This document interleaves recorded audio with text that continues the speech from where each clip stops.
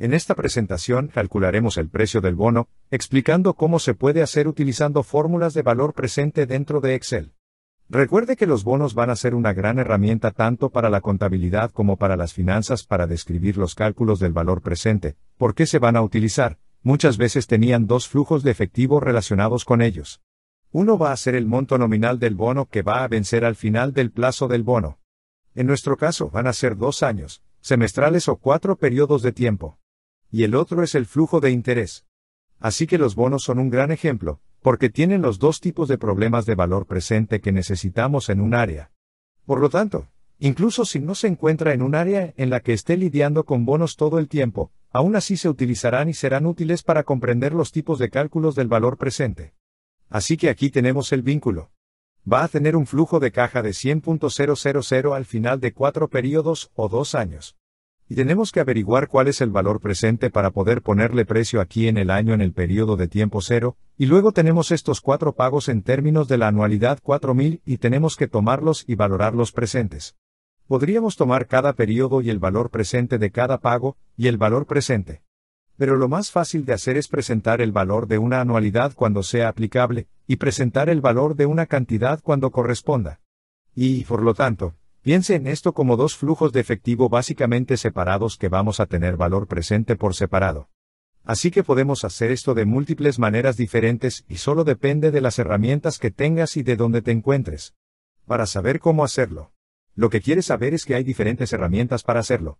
Cada vez que alguien usa una herramienta diferente, ¿qué está haciendo? Lo mismo que cuando se pueden aplicar estas herramientas.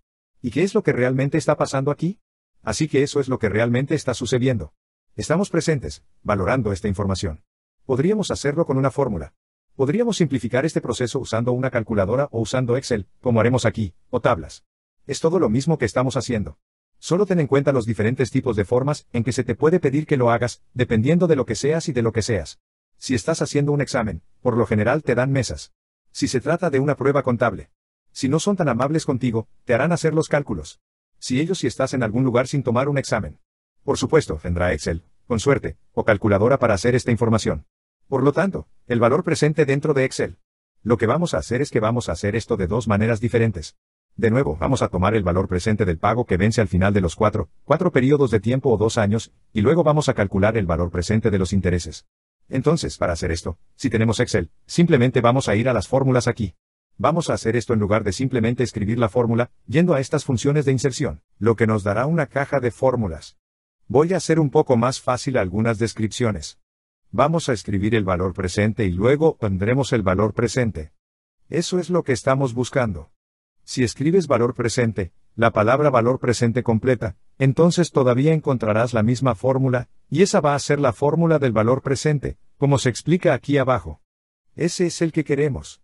Así que vamos a decir, está bien, y luego simplemente ingresaremos nuestros datos aquí, y nos dará algunas descripciones a medida que avanzamos en cada uno de estos aquí abajo, si hacemos clic en este elemento, nos dará una descripción, pero solo vamos a ingresar nuestros datos.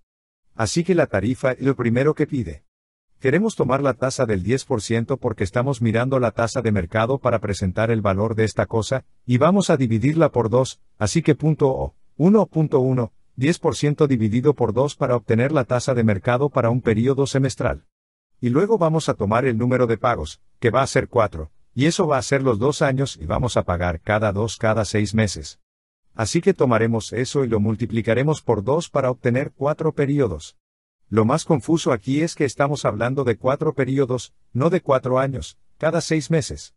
Y, por lo tanto, la tasa anual no es el 10% que se da, sino el 10% dividido por 2, porque es una tasa para cada seis meses. Y luego vamos a tomar el valor futuro. De eso se trata. Ahora, lo más confuso de esta fórmula es que usamos lo mismo para una anualidad y para un valor presente de 1, pero es la diferencia entre estos dos campos lo que usamos. Así que sabemos que en las tablas de anualidades, cuando miramos las tablas, teníamos diferentes tablas que usábamos en Excel. Vamos a decir que este número aquí representa los pagos, ¿cuántos pagos hacemos? Entonces, si fuera una renta vitalicia, como veremos cuando hagamos la parte de intereses, pondríamos los pagos aquí. Pero en nuestro caso, solo estamos haciendo una cantidad al final del periodo de tiempo, un pago en nuestro caso, al final del periodo de tiempo. Pero en realidad solo estamos tratando de presentar valor, una cantidad. En otras palabras, conocemos el futuro. Importe. Sabemos lo que vamos a pagar al final de cuatro periodos de tiempo, o dos años. Es 100.000 y 100.000 es el valor futuro, porque es la cantidad real en dólares al final de cuatro periodos de tiempo. Así que a eso lo llamamos el FD, o el valor futuro. Así que eso es lo que tenemos. Observe que este es un campo obligatorio, porque parece que está resaltado. Por lo tanto, parece un poco confuso usar esto, mientras que esto no está resaltado y, por lo tanto, pensaría que no sería un campo obligatorio. Pero en este caso, Debido a que estamos usando el mismo tipo de cuadro para Excel para hacer el valor presente de una anualidad o una, estos dos son los componentes más confusos. Así es como vamos a hacer esto. Vamos a asumir el cálculo. De hecho, lo hace por nosotros aquí abajo.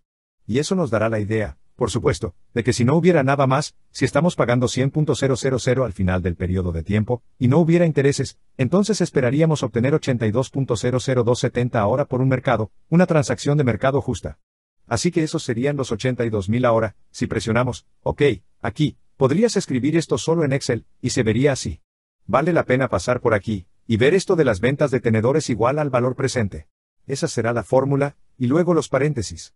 Y si hacemos clic en este elemento, nos dará la tasa que teníamos, punto, o, quiero decir, punto 1 dividido por 2 o 5% y luego coma, como dice aquí, y luego estamos aquí. Número de puntos, 4 y luego 2 comas. ¿Qué está pasando allí? Eso significa que nos estamos saltando el pago. Recuerde, no teníamos un pago, así que podíamos poner un cero allí, o solo dos comas, que no es nada. Y luego ponemos el negativo, 100.000 ese negativo, solo para voltear el signo, esa es la única razón por la que tienes un negativo, de lo contrario, resultaría en una respuesta negativa. Entonces tiene una respuesta positiva, sería negativa. Bien, entonces ponemos los 100.000 que nos dan los 82 bien. Entonces tenemos el valor presente de la anualidad, que es esta forma, esta fórmula. Vamos a hacer eso en Excel, lo mismo. Vamos al mismo lugar, pero esta vez, vamos a tomar la tasa, la misma tasa, 10% dividido por 2, el mismo número de periodos, 4 periodos de tiempo, y luego la cantidad que vamos a pagar es 100.000 por el punto 8, la tasa establecida en el bono dividida por 2, porque lo estamos pagando cada 6 meses. Esos 4.000 es lo que vamos a pagar cada 6 meses. Esta vez no es el valor futuro. Es un pago de anualidad que representa el pago. Así que vamos a pagar eso en cada uno de esos cuatro periodos de tiempo. Eso es lo que esto está diciendo. No hay que necesitar el valor futuro o el tipo. Así que este es el truco entre estos dos. Este es el truco. Y sabiendo que el número de pagos no significa años, sino pagos, y sabiendo que la tasa tiene que ser la tasa por periodo, no por año, entonces vamos a decir, está bien, y entonces esta será nuestra fórmula de valor presente.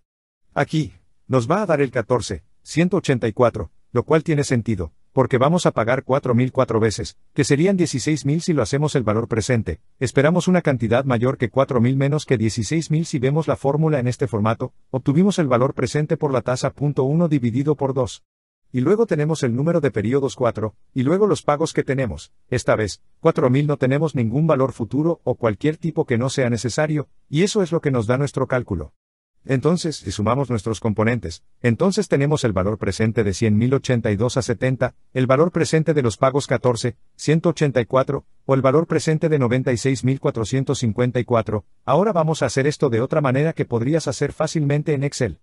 Solo para darnos una mejor idea de lo que está sucediendo aquí, podríamos tratar de presentar el valor de cada periodo de tiempo, lo cual es algo fácil de hacer cuando se usan fórmulas en Excel, y va a ser algo que, con suerte, lo haga lucir un poco diferente, poder ver las cosas desde un ángulo diferente. Así que vamos a poner el número de periodos aquí, y vamos a tratar de decir, ¿cuál es el flujo de caja que está sucediendo?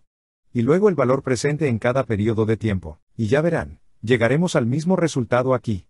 Así que vamos a decir que los bonos en el primer periodo, al final del primer año, no hay flujo de caja. Los intereses, sin embargo, al final del primer periodo, vamos a pagar 4.000, ahora el primer periodo es cada seis meses, así que después de seis meses, después del primer periodo, no estamos pagando el bono, estamos pagando intereses. Por lo tanto, el cero total más 4.000 es 4.000 ahora, si tuviéramos que presentar el valor solo de estos 4.000, no haciendo una anualidad, sino solo el valor presente en cada periodo de tiempo. Al final de seis meses, usamos la fórmula del valor presente para presentar el valor 1 al final de este periodo de tiempo, y daríamos que valdría 3.810, si lo hiciéramos durante el periodo 2, seis meses después, un año después. Ahora diríamos que los bonos todavía. No vamos a pagar ningún bono, no hay flujo de caja allí. Vamos a pagar 4.000 al final del segundo año otra vez. Y eso significa que el total 0 más 4.000 es 4.000 si tuviéramos que presentar el valor de estos 4.000 al final de un año o dos periodos de seis meses, solo valdría 3.628, esto es fácil de hacer, con una fórmula en Excel. Entonces, si vamos en 3 y es lo mismo para la fórmula, la fórmula del valor presente, podemos copiarla. Ni siquiera tenemos que escribirlo allí de nuevo. Y luego tenemos el vínculo. Pagamos otros 4.000, por lo que el total es 0 más 4.000, pero estos 4.000 a 3 años, o un año y 3 periodos de tiempo o un año y medio, solo valen 3.455, así que, por supuesto, el valor va bajando a medida que aumenta el periodo de tiempo, desde el momento 0, donde estamos ahora y luego el periodo 4 ahora vamos a pagar el bono, porque eso es el final de dos años, se van a devolver 100.000, además estamos pagando esos 4.000 de intereses que pagamos cada seis meses, así que en total, entonces 104.000 si nosotros, si presentamos el valor de estos 104.000 enteros, que son cuatro periodos de tiempo o dos años. Solo vale 85.00561, así que si sumamos esto, entonces vamos a decir que el flujo de caja es 100.000 que vamos a devolver al final del bono, 16.000 que vamos a pagar en intereses en dólares, un total de 116 que se podría calcular aquí o aquí para obtener esos 116 y luego el valor presente. Sin embargo, es el 300810 más el 3628 3455 a 85561, o ese 60 o ese 96545 esta suele ser una forma útil de verlo en Excel. Fácil de hacer en Excel cuando se hacen las cosas a mano. Sin embargo, notarás que es más tedioso para nosotros presentar valor cada año. Es más fácil para nosotros presentar el valor de la porción de la anualidad usando una tabla de anualidades, y luego presentar el valor de la porción del bono, que vencerá al final del periodo de tiempo por separado, y luego sumarlas. Si estás usando Excel, esto es bueno, porque puedes ver el flujo de caja anualmente y el valor presente anualmente. Así que, de nuevo, la transacción va a ser en efectivo va a subir cuando grabemos esto. Vamos a venderlo por 96.454, el bono va en los libros por los 100.000, el descuento es la diferencia 3.546, el efectivo está aumentando, el bono en los libros, el valor en libros del descuento, los 100.000 menos el descuento. El